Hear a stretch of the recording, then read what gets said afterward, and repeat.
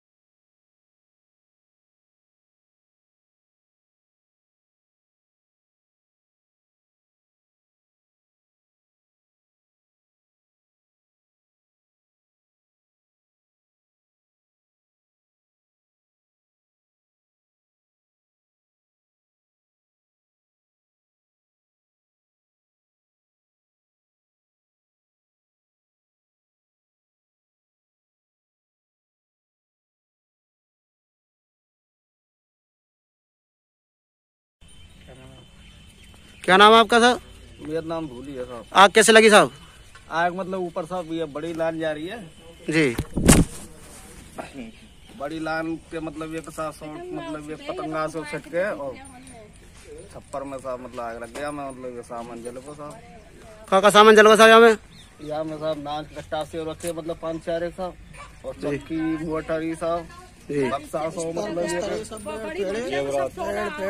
ये मतलब सब पैसा दिला हुए साहब दस पंद्रह दस बारह हज़ार रुपया है साहब अच्छा जी बयान फ्यान कपड़ा फपड़ा खरीद में जा रहे हैं साहब जो भात का साहब बाईस तारीख को भात देते हैं सेवन माली पर साहब जो कपड़ा लत्ता खरीद में जा रहे जो पैसा पैसा से धरे बाइन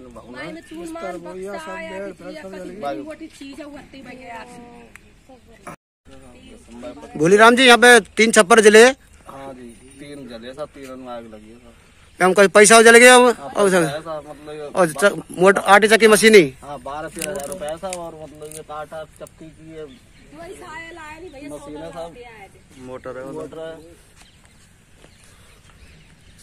जेवराते हो साहब हमें। हाँ, ओ, वैसे- मोटी साहब मतलब ऐसे बढ़िया बढ़िया सी चांदी फांदी की। आटो आटो और आटो रजाई गद्दा वगैरह सब। हाँ हाँ जी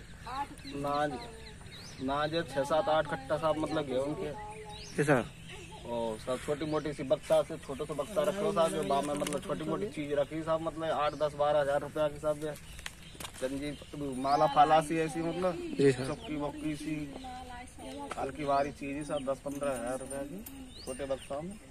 ठीक सर